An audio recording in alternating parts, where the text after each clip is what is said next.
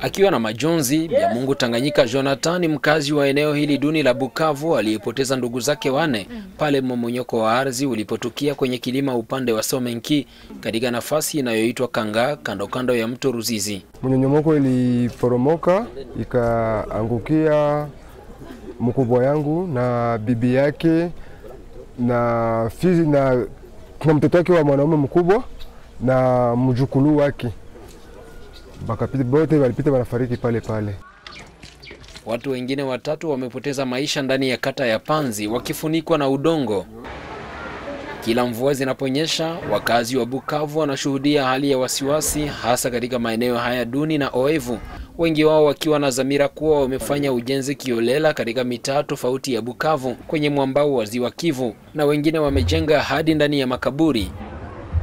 Hatukukuwa na nafasi, ndio maana tulienda tunauza huku.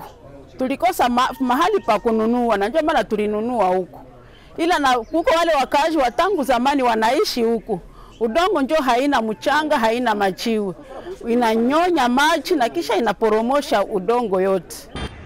Baadhi ya viongozi mjini Bukavu wanajitetea kwamba vurugu za kivita mashariki ya Kongo zimesababisha watu kuhama vijiji vyao na kufurika mjini Bukavu, na sasa viongozi wanashindwa kupata suluhisho la dharura. Vila Bukavu ilijengwa kwa ajili ya watu elfu mia tano.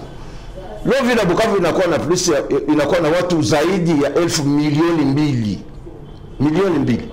Leo kartini ya Lukemba nina watu elfu, wa, watu elfu mia tatu makumi munane na saba. Kwa sasa watetezi wa mazingira wanatoa hamasa kwa wakazi kupanda miti kwa uwingi ili kuepuka athari za mabadiliko ya tabia nchi mjini Bukavu na Kivu Kusini kwa ujumla. Mitima de la Chance, Sauti ya Amerika, Bukavu.